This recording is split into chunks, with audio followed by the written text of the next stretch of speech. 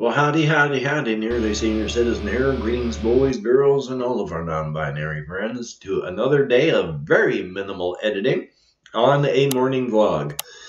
Oh my god, yesterday was horrific. it was a nightmare beyond all all reckoning. Last night especially. So, yesterday we went and got the U-Haul truck.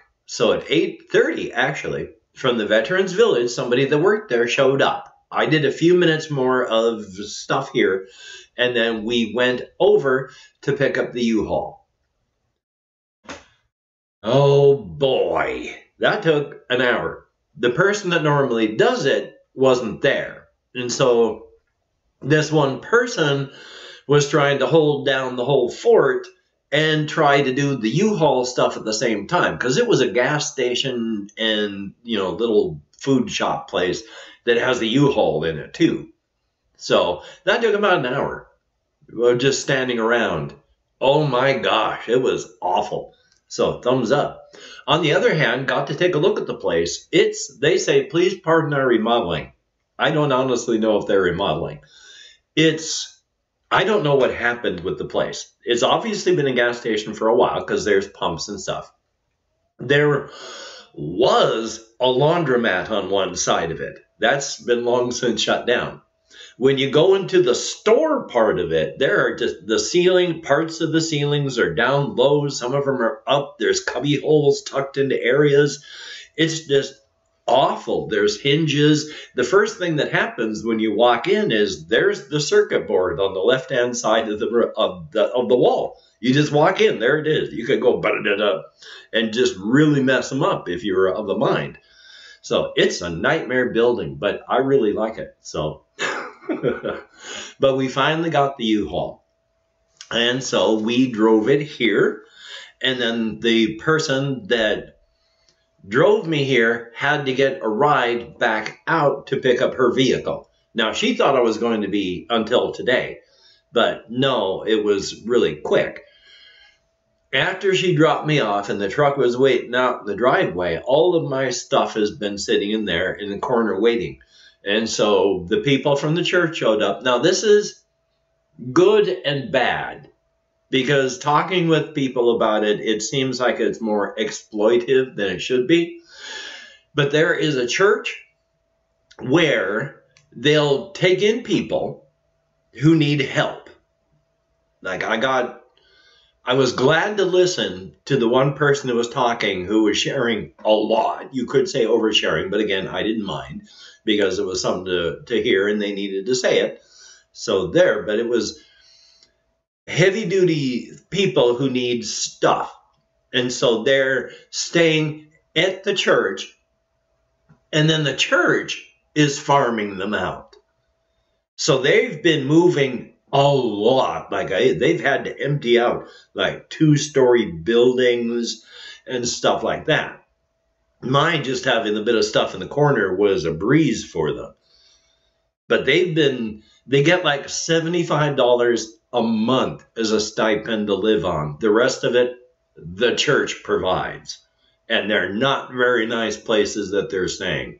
So, seems more exploitative than it should be, but yay, they showed up. We got the stuff over to the storage unit, dropped it all off, so that's good. Then the rest of the day was just I had to walk to Walmart. That's right. I had to think about it because I was foolish. I, well, not exactly foolish, but I sent everything out. And then I forgot that I was going to need something to stay on here because I had another night. I can't sleep on the floor. So I had to go to Walmart. I got a, a cheap air mattress I got two blankets because I need blanket a bl- uh, two pillows because I need a pillow to go between my knees and I need a pillow to hold this arm up when I sleep. And so I needed two extra pillows because I've got my one pillow for my head. And so I needed two pillowcases for the pillows And then I needed two blankets, which I thought I was buying fleecy blankets. Instead, I bought two really cheap, so easy and cheap to replace. Excuse me. I bought just some microfiber types that were re- they're really slick. I mean, super slick. I move and they just slide off each other, and so it that's awful. I need to go get new blankets. Now, all that said, I did not realize how cold this house could get when there's nothing in it. It last night I was in here with my air mattress on the floor, my memory foam pillow under my head, having my arm up on the one pillow, pillow between my knees, two fleecy blankets on top of me, and I almost died of cold. I slept maybe, well, I, when I first got here, 8 o'clock, I was so dead tired I tested out the mattress and fell asleep until 11. From 11 o'clock until 7 this morning, I think I slept an hour. So before that is when I got the bulk of the sleep. After that is when I didn't. Because, oh my God, again, so cold. So absolutely freezing. And I'm really good at forgetting things. I forget. I have to be careful with my legs because my right leg, if I if it gets too warm or I bend it up too much while I'm laying in bed, if I get too much like a fetal position and draw my knees up towards my chest, not good. I had to get up to go to the bathroom at four o'clock in the morning. The mattress is on the floor. To get up, you have to bend your knees up towards your chest. The moment I did that, both inner thigh muscles cramped. It was horrible. I had to figure out how to get up without, uh, you know, standing straight up because you got to bend your legs. I had to stand up without bending my knees because I was cramping. You can't stand up from the floor. I had to do kind of a push up thing. Ow, ow, ow, to get standing.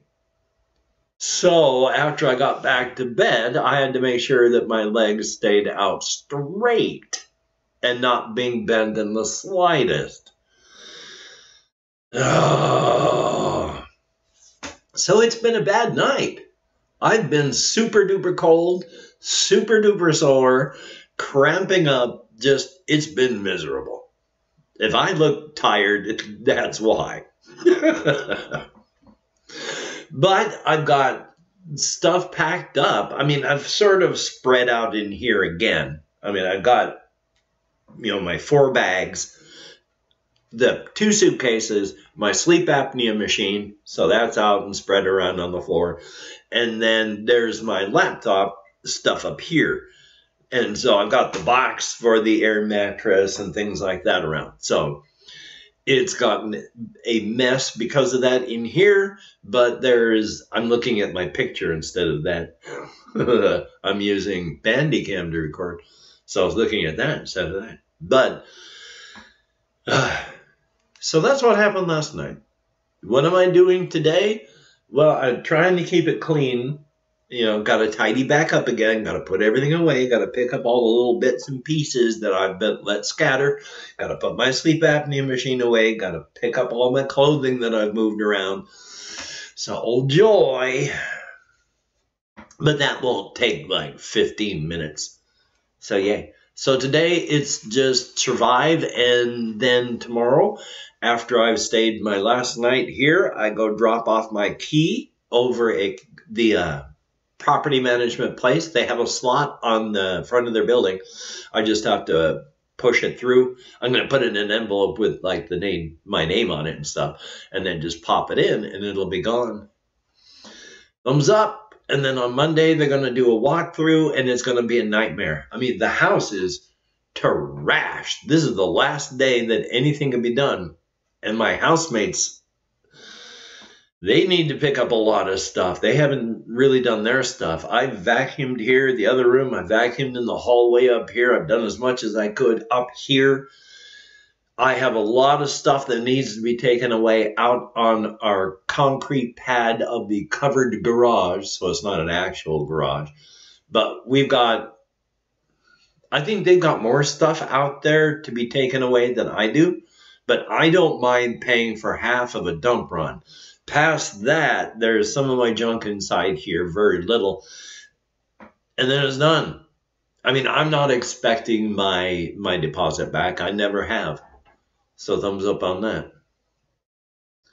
Yay! Now, what else was there that I was going to talk about? Because there were all sorts of things, only I really can't remember. Unfortunately, I had to put my my regular good for my back chair away. So now in a flat backed wooden chair, all I have is the pillow that I had between my knees to put behind my back. Ow, ow, ow. Better than I did yesterday because I had nothing at all. Excuse me here. Ugh.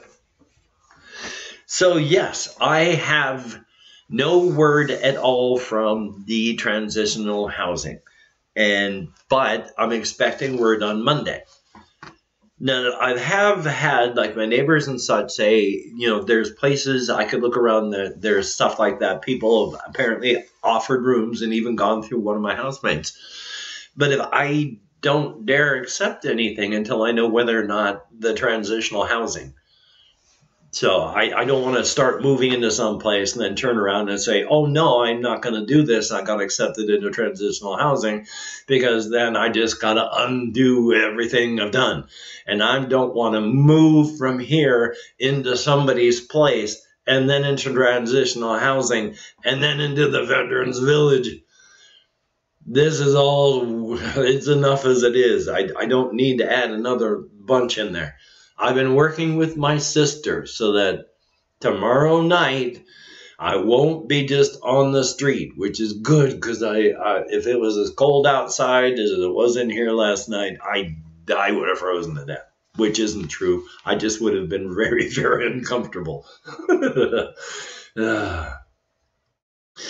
yeah, so I have been so stressed out, so major league stressed out thumbs up for that.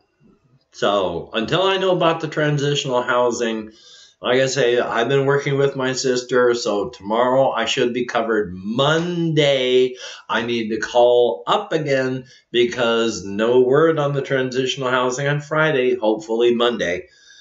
I've got my phone with me, so if anyone calls, I'm I'm covered that way. But again, I, I don't want to have to do a whole bunch of extra stuff when it's just going to be having to move at some point if I get into the transitional housing, likely before I've even finished moving into the other place. It's all just a lot of extra stuff I need to know before I do anything. Yay. So, what am I going to be doing today? Thoroughly stressing out. I need to go and get some actual real blankets that aren't going to slip. I mean, that was bad last night. Then that was primary. I mean, I even put down, got up before I went back to bed after going to the bathroom. I put down one of the the microfibers, put down a towel, and then put down another microfiber blanket on top of that so that it would stay warmer. And before I could do anything, because they were just the slick microfiber, the towel had slid this way and the top blanket had slid this way. It just, they're awful. I wish I'd realized that. They might be good for if you tuck them in, but past that, you make one move and they're going to go sliding off like they're on little centipede legs. Yay on that.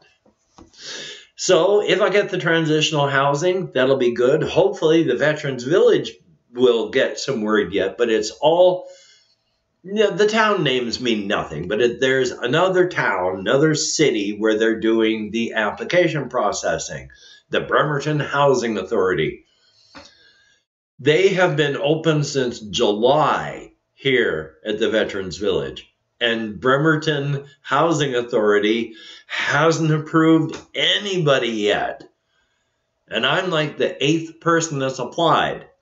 So it's frustrating for everybody. They've been open, there's nothing for them to do. They want people to show up, but we can't. So hopefully the Bremerton Housing Authority is going to hurry up and start, you know, accepting these things and letting us move in. so yeah, I'm going to I got to walk to Walmart. I need to get new blankets, not a whole lot of them, just cheap stuff, just not slick stuff. I need to get a good back support. They're cheap. You can get them again, Walmart or any of the cheap pharmacy type places you can go into. And that'll be better than using a pillow. so there is my status update. I am miserable. I don't feel good physically because the mattress is on the floor and it is better than an actual normal mattress, but it's not soft like foam. I feel like I have been sleeping on concrete. So, yay. But still, gonna do what I gotta do, and hopefully you can do what you gotta do, and that would be cool. And before I do anything else, I do want to thank each and every person that has donated to my GoFundMe, that has donated to my PayPal, that has. I, I do want to thank, you know, nowhere up here for a list, but I want to thank each and every one of my Patreon patrons. You are beautiful and awesome people. Thank you so very, very much. I forgot to open up a browser, so I'm not going to do the normal things. I've been doing this for a long time. So until we meet again, you take care. Have a great day today. I will see you on the flip side. And that is indeed, my friend, a very good thing. Yeah. now I got to reach over and hit the close button. And then I have to edit this in, in Wondershare but it'll be easy, no effects, just gotta sync up the sound.